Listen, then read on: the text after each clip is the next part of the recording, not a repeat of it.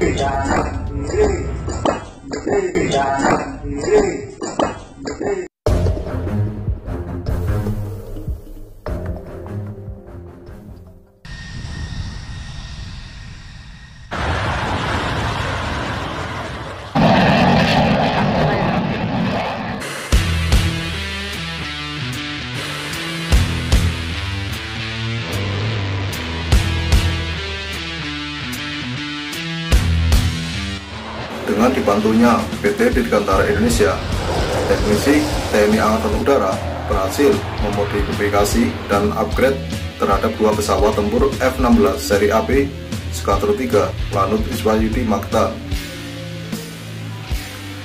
Dari memodifikasi dan upgrade yang dilakukan, masa pakai dua pesawat yang telah memperkuat Skadron 3 Lanut Iswayudi sejak tahun 1989 bertambah menjadi 8.000 jam terbang.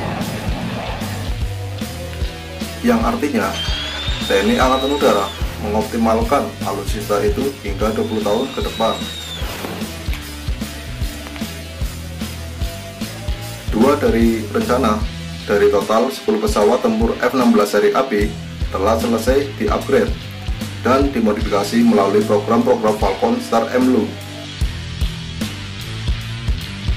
Star MLU adalah hybrid gas yang merupakan penggabungan dari program Direct Commercial Sales antara TNI Angkatan Udara dengan Lockheed Martin, pabrik pembuat pesawat F-16 asal Amerika.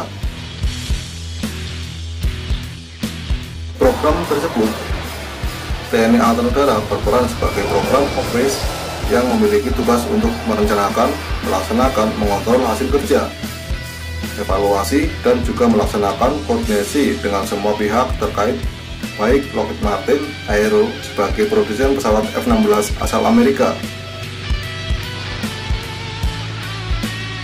Terdapat 565 test cab yang harus dikerjakan untuk pesawat F-16 single seat dan untuk yang double seat harus menyelesaikan 650 test cab.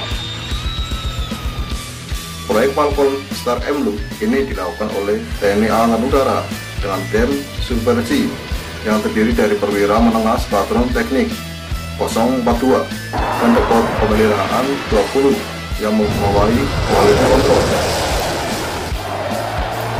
Sekarang para pelaksana di lapangan melakukan pekerjaan elektrik, struktur, backup, sun, airplane, dan general